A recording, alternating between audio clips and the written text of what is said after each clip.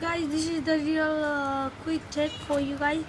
This is my iphone 6 as, as you can see the iphone 6 right here.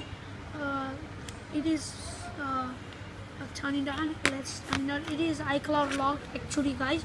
I think that but the sim card is not working. What the hell is this? It is on the lost mode. I check it out before i uh, uh, found this phone uh, so pretty much said guys this is the iphone 6 as you can see and it's a no sim card installed.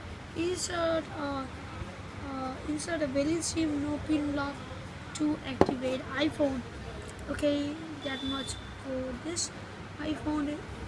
I select vision when i connect to the internet guys when i connect to the internet it's uh, the the SIM card is not uh, installed and it's a SIM card installed and all the pretty much set.